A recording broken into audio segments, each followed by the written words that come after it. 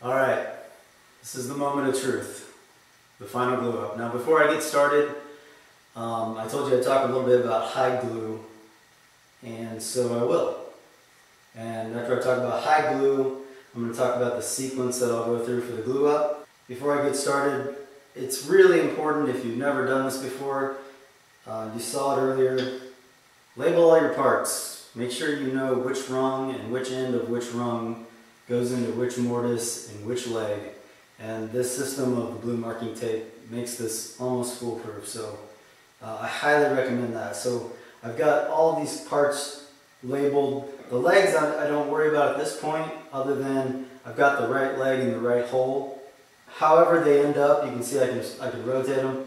You know, the rungs are going to take care of that when I drive them in. However they end up, they end up. Um, so those are in place. I've got everything marked. I've got a Stickley manual here that I'm going to use uh, as a cushion when I drive the tenons into the mortises. Um, I'll show you that. I've got my hammer. I've got three um, fairly large Irwin quick clamps. The things I, the thing I love about these is the is the travel distance. Now, if I were using an F-style clamp um, or a K clamp, um, you only get as much travel as you have in the screw thread. With these, very quick to adjust and you have infinite travel between fully open and closed, which is nice when you're uh, pulling these together because I've got a few damp rags to wipe off the excess glue. You definitely want to wipe off that glue as soon as you uh, drive these home. You'll see me doing that as I go along. Um, and then the hide glue. This in my opinion, is the best hide glue pot in the world. Uh, it's a it's a crock pot mini cooker. I got it at Target for like $19. And when I initially bought it, you know, it was between a 19 to $25 little unit like this or the super fancy $150 hot pots that you can find at uh, Highland Hardware and other woodworking suppliers. I've tested it, I filled it full of water and put a thermometer in it and it holds almost an exact 145 degree temperature. Perfect. Um, the reason, I don't always use hide glue, but when I do, um, I make sure that I mix it at about two parts water to one part hide glue. And really the consistency that you're looking for is a real light syrup you don't want it to drip off your brush when you pull it out. You want a little bit of run to it. And I won't be able to pick that up on the camera. So I use a real high grade instrument maker hide glue, which is, it's probably no different than the lower grades, except that it's a little bit more refined. It's, it's clearer. It doesn't smell uh, as bad as the other hide glues. This does have a slight odor to it. Um, and this is about 190 gram strength. When it comes to gram strength, um, there are various choices. In general, the higher the gram strength, the, the more quickly this is going to set up. Um, you could also use uh, urea, which is a fertilizer. You can buy it at probably some of your local garden centers. I don't use urea for glue-ups like this because I don't really need that extra open time. What it does is it, it allows the glue a little bit more open time. Um, the other benefits of hide glue are that if I were to freeze one of these joints when I'm putting it together, and it just won't go together, which has happened to me before on a couple of different projects, I'm able to do one of a couple of things. I can put a hot gun on it, wrap it in a wet towel, give it, it takes quite a bit of time, it's not easy, but it can be undone. Um, and the other, the second good thing about hide glue, and this is why, why you know older furniture is able to be repaired, is that hide glue will melt into old hide glue, whereas modern glues, once they cure, there's no bond. There's no taking wet glue and adding it to old cured glue and, and getting a bond. It just won't bond. There were a pitfall to it. It's that you have to work very fast. If uh, you're applying this, and you'll see me, I'll do one joint at a time um, and work my way. I'll start with rung number two, I'll go to rung number three, and then I'll end up at rung number one and just watch as I go along. I'm probably not going to talk because I'll look like a deer in the headlights and uh, probably slightly panicked. You have to work very quickly. So that's about all I got to say about the hide glue. I highly recommend if you don't already have, um, you know, the experience with hide glue and you want to get into it, uh, it's relatively cheap. You can get a, like a one pound bag, and I've had the same one pound bag for years, and it looks just like it did when I bought it. Um, two is buy a pot like this. Uh, even if you don't end up, you know, liking it or getting into chair making or doing work where hide glue is the most beneficial, you've got a way to warm up your soup or something like that. Uh, again, $20. I bought this at Target. You can probably buy it online. So I've got everything ready, my wet towels. I've got my wedges sitting here. Um, we'll get to that in a minute. I've got my pounding surface. I'm going to move my hide glue pot to my stool so it's right next to where I'm working. And uh, I want to collect my thoughts here for a second. and I'll go ahead and get started.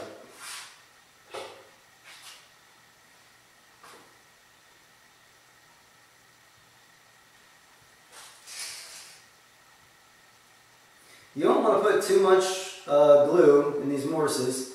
They are so tight that it is possible that when you're driving this home, you can actually hydraulically lock the joint and you'll never get it to uh, home up, which is a problem.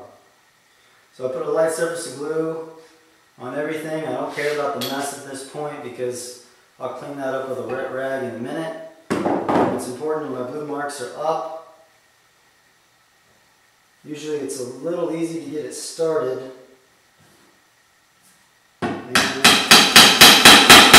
I'm looking for, make it a little violent, but uh, where I put those knife lines, that's where I'm looking to hone this joint up. So right now I'm comfortably set. I've got one driven home. I go ahead and I'll clear the glue, get quite a bit of squeeze out because uh, these are just so super tight. And uh, this is really a pain in the butt to scrape off later. It dries like a crystal, which is why uh, it's so good for instruments. It resonates, it's so hard and, and crystalline that it resonates sound very well. And I've got it everywhere. So that's the easy part, first one. Gets a little bit harder as I go. I want to make sure I keep my brush and my warm glue. And you'll notice I, I don't take the, uh, I don't take my baby jar with my glue in it out of the pot. I just want to keep it as hot as possible while I do this. And then I'll just look, you can see, you're looking at that, the long grain of the leg, and, and where I put my mark, that's exactly what I want, the, the rotation or the orientation of the, the stretcher in the leg. So that's good. Um, once you get it down to this point, you're not turning it, ever. Okay, so the next thing I did, I mentioned I'm going to put this one in first. I'll go ahead and just set this in place randomly while I put the glue in this mortise and on this tenon. Make sure I got my wits about me. Make sure my brush is nice and hot again. You got about, I don't know, you got about 30 to 45 seconds before this gets to a point where uh, the joint could possibly be compromised. So what you'll see me do here is I'll put glue in this mortise, I'll put glue in this tenon, I'll pull these out. I'll get it started um, in the mortise, maybe, maybe halfway down the tenon, a quarter of the way down the tenon. And I'm going to slide these two legs back into the mortises and apply a clamp across the top. I'll be clamping while I simultaneously bang on the ends of the legs. So as these go together, you can see right now that angle would never line up. But outside the leg, it'll go in something like that. There's enough flexibility here that when I put that in, apply that pressure and start pounding down on it, I'll just keep looking at this line and making sure that I hone that joint all the way. And at that point, that'll be kind of another stopping point. Then I'll move on to this one and then subsequently the next one. And you want to make sure you put the glue, glue in the right mortise. It's also important.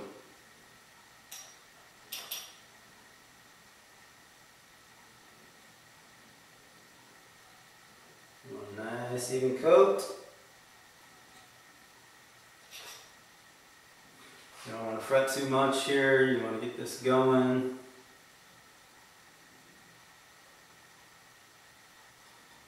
Gets a little bit there on the end.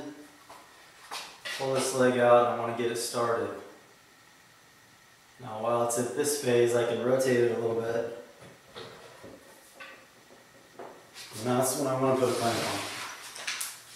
And I try to clamp just directly across. It goes. Now, just to make sure that I'm home, you can hear that, hear that sound. There it goes. I'll check my, my knife line. I'm going to make sure I'm home. And I'm home. So at that point, the glue is doing its job. If you are using a softwood seat uh, for your stool, you want to make sure you don't drive these home so hard that you can split your seat. With this oak, I'm not that worried about it. So here I am at a stopping point. I'll go ahead and clean the glue from around this joint. And then any light glue that remains, uh, I typically will sand, just do a quick hand sanding at about 320 later on, just, just in case there's a little bit of residue, which there usually will be in these areas where I'm wiping it. Okay, so stretcher number two is in. I'll start with, I'll, I'll move over here to stretcher number three. So I double check my marking that I've got, rung number three. I'm looking here at my mark on the stool, rung number three, and the this end's going into leg two, and this end's going into leg number three, and we're all good. Um, what I do, instead of gluing both mortises at the same time and trying to get this all together, is I will just glue my leg number two here and this end of the mortise, and you'll see me, I'll just take these out, um, pound this in, make sure it's in the right rotational uh, direction, like so. Uh, pound that in, and then I'll move over here and worry about making this connection next.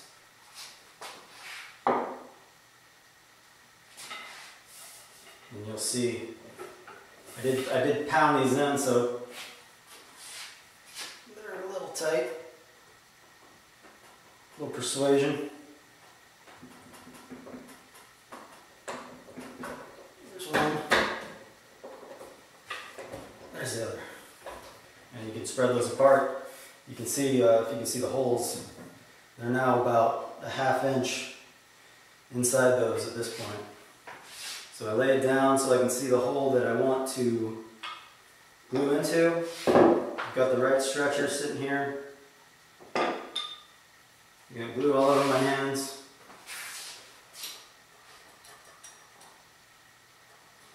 And I'll glue this one up, pound it all the way in.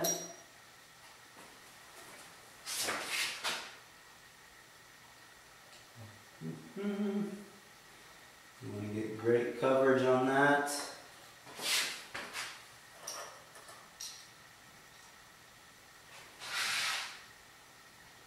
Tenon wet. I don't fuss about getting it past where it's driven home. The thing I fuss about is the timing.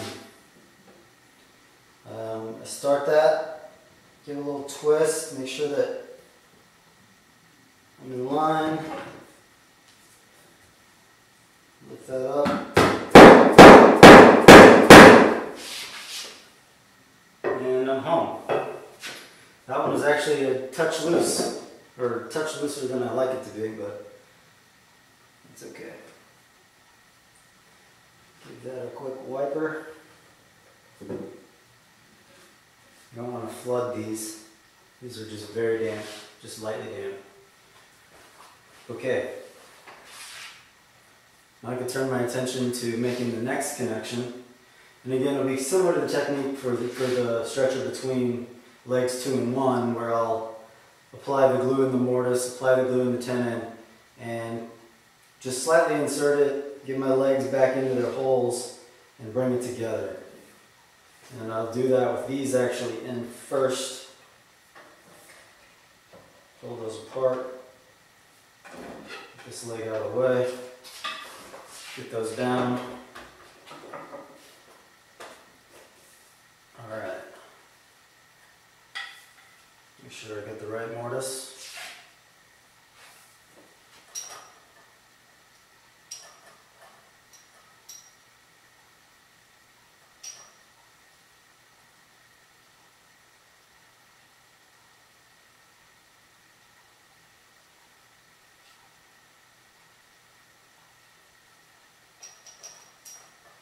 there.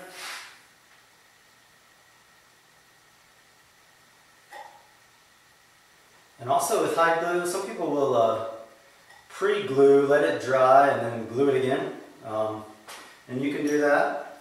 I've never really had much problem. Get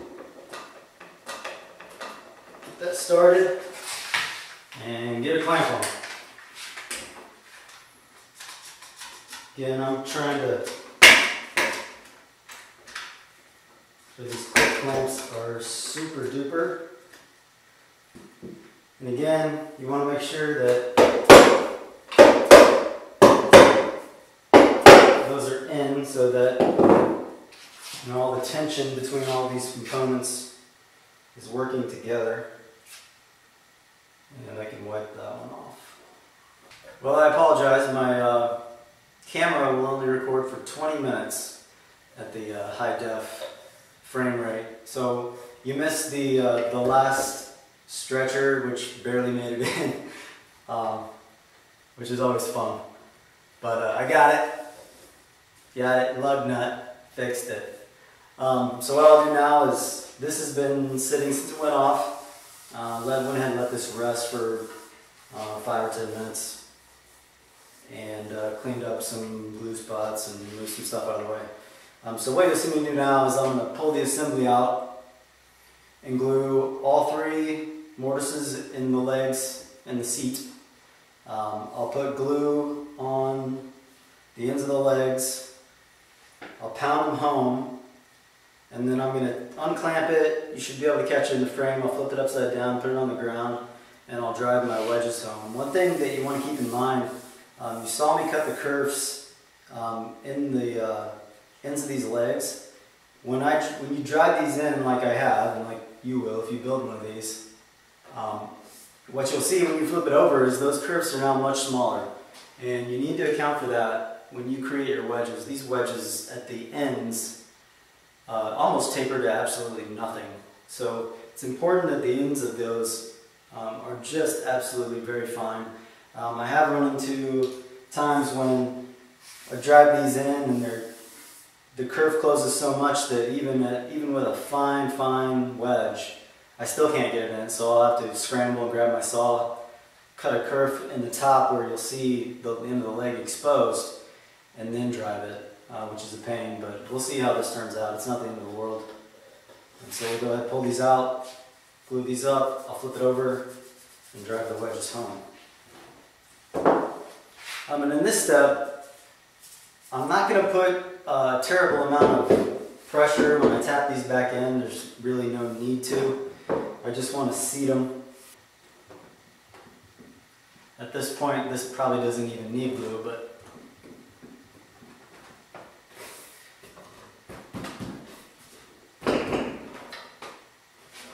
quite, quite tight. Okay. Once you get one, the other ones will go. Yikes! Okay, so that should now stand on its own. And again, I'm to work quickly. This time I will take the jar out because I got to get this done. Look at these split.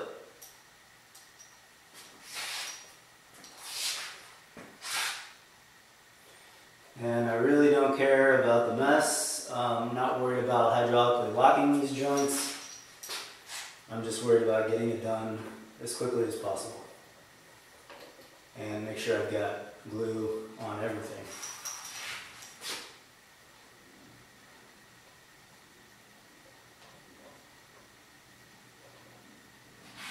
Alright. Takes just a bit of arm strength, but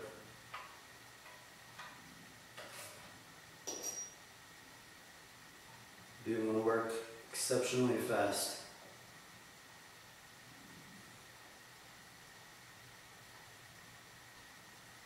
I'm not worried about getting glue in that kerf. I'm going to put glue on the wedge.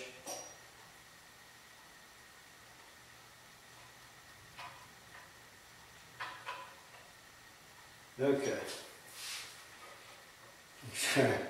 Attempt to put these back in the right way.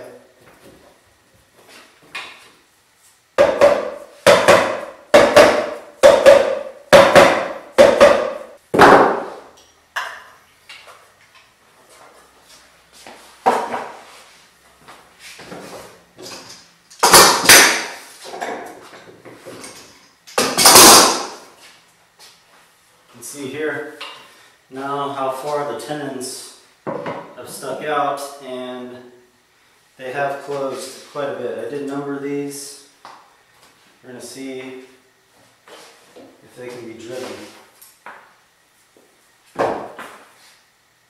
I put glue on one side of the uh, wedge. You don't need to put glue on both sides. I'll explain that in the blog post later, but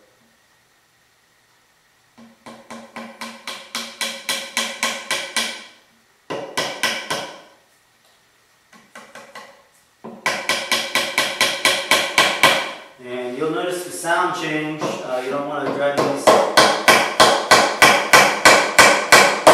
It's plenty.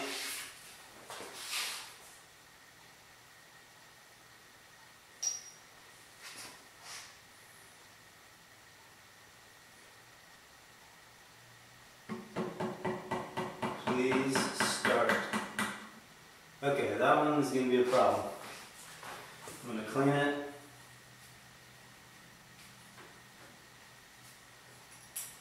on to number one. The other thing I to do is after I get these driven in, I'm going to quickly flip the seat upside down and clean off that glue. This one is also being difficult, very difficult. Okay, so I'm going to have to resaw this is good that this happened. So you can see it. Same on this leg. Another uh, way that I've done in the past, and I don't have this problem, but I don't like how thick it makes the kerf, is to cut them on the bandsaw. Cut the kerfs and the legs on the bandsaw. Makes a much wider kerf and it doesn't close up quite as much. Or I should say nearly as much.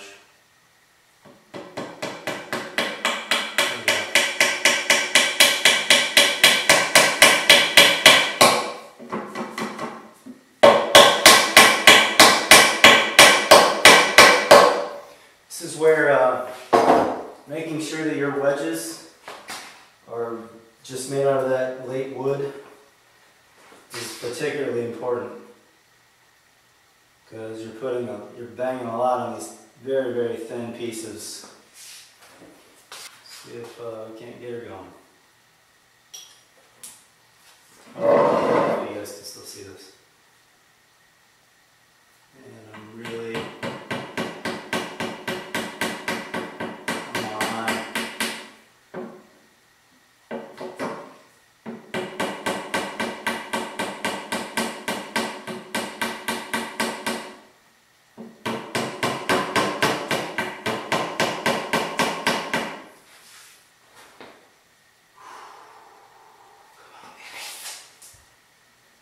work.